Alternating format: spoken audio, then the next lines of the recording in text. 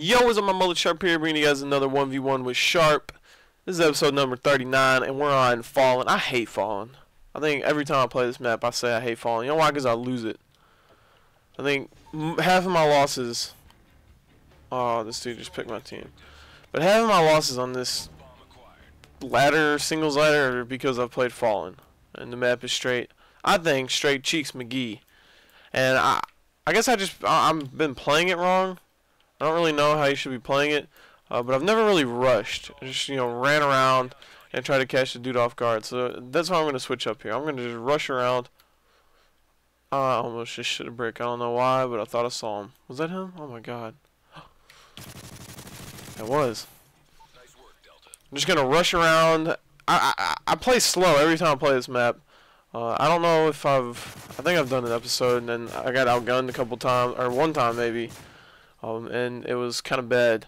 But I feel like on this map, I just play really slow, wait for the bomb to get, I, like, wait till the time goes all the way down. By the time I plant the bomb, the dude's just already on top of me and uh, just killing me and defusing the bomb. That seems to happen to me every time. So I think I'm going to try to avoid playing the bomb uh, and, and just waiting by the bomb site and just try to rush around more.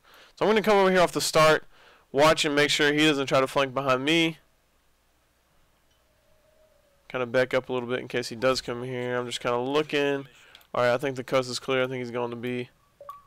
Hopefully he's not just waiting on me. I got to check all these spots. Check behind this table. Make sure he's not up in the top window. Oh my god.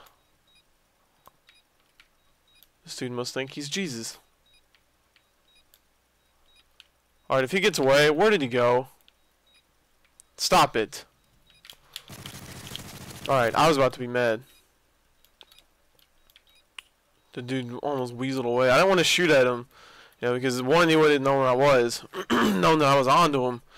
Two, he he was behind cars and stuff, so I, I definitely wouldn't have killed him uh, unless I had that precision, like through these windows right here shot. Uh, so I just want to wait, try to catch up to him. But then he like he like jumped over the wall, put on his PF flyers, and ran. I couldn't find him. Luckily, luckily I got him in that corner there. All right, so off the start, I think I'm just going to push up B-side again. Because I don't think he knew I did that. Now, a lot of times people like to come over here with ACRs. What you got to watch out for. And people like to go on this little middle thing to the right. So I'm going to jump it. I don't see him there. Alright, he's all the way over there. Hopefully he didn't see me. Oh, if he saw me, I'm going to scream. Nope, he saw me. Yep, he did. I'm not going to scream. I'm going to hold it back.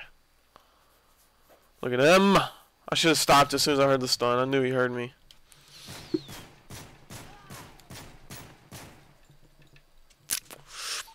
Hmm. Alright.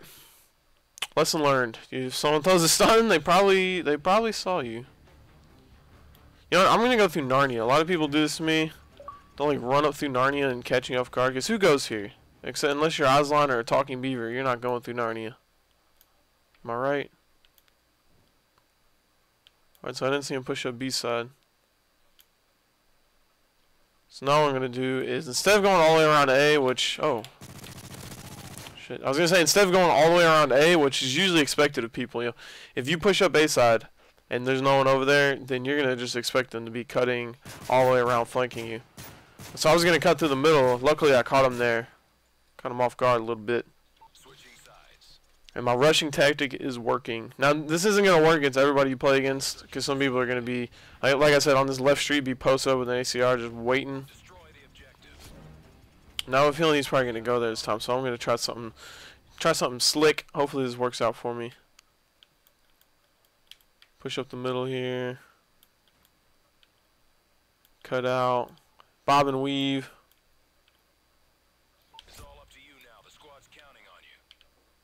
See, right, like right now, I didn't see him all the way through middle. I didn't see him B side. So what I'm thinking is he's flanking me on the spawn, and he did. Look at him. Did he see me?